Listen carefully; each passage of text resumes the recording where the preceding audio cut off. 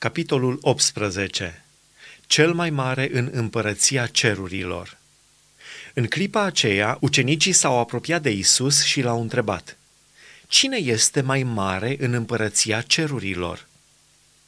Isus a chemat la el un copilaș, l-a pus în mijlocul lor și le-a zis, Adevărat vă spun că dacă nu vă veți întoarce la Dumnezeu și nu vă veți face ca niște copilași, cu niciun chip nu veți intra în împărăția cerurilor. De aceea, oricine se va smeri ca acest copilaș va fi cel mai mare în împărăția cerurilor. Și oricine va primi un copilaș ca acesta în numele meu, mă primește pe mine. Dar pentru oricine va face să păcătuiască pe unul din acești micuți care cred în mine, ar fi mai de folos să îi se atârne de gât o piatră mare de moară și să fie înecat în adâncul mării. Vai de lume din pricina prilejurilor de păcătuire, fiindcă nu se poate să nu vină prilejuri de păcătuire, dar vai de omul acela prin care vine prilejul de păcătuire. Acum, dacă mâna ta sau piciorul tău te face să cazi în păcat, taie-le și leapă-de-le de la tine. Este mai bine pentru tine să intri în viață șchiop sau ciung decât să ai două mâini sau două picioare și să fii aruncat în focul veșnic. Și dacă ochiul tău te face să cazi în păcat, scoate-l și leapă-l de la tine.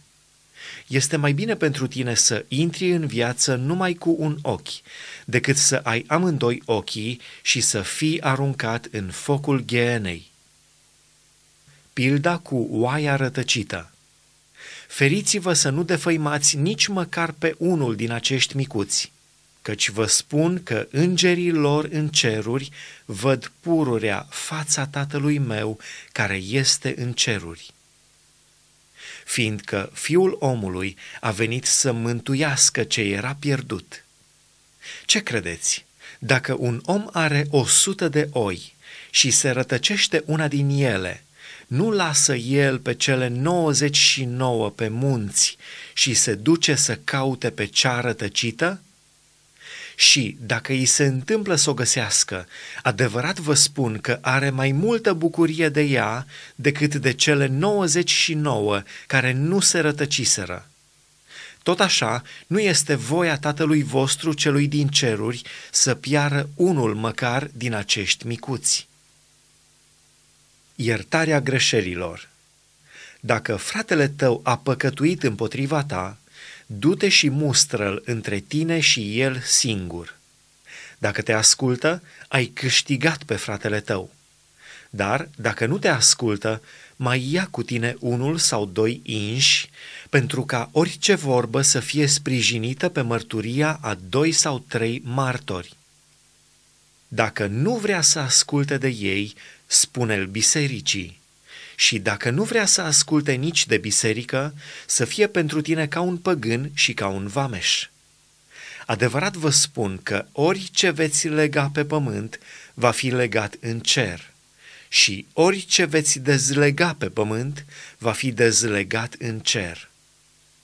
Vă mai spun iarăși că dacă doi dintre voi se învoiesc pe pământ să ceară un lucru oarecare, le va fi dat de Tatăl meu care este în ceruri.